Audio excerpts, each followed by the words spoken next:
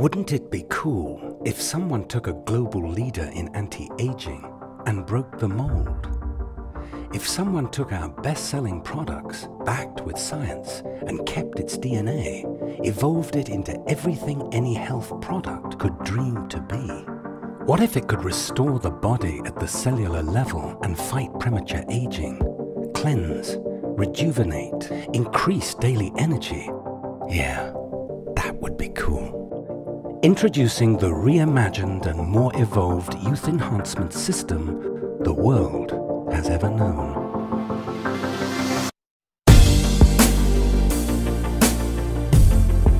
Jeunesse. We are redefining youth.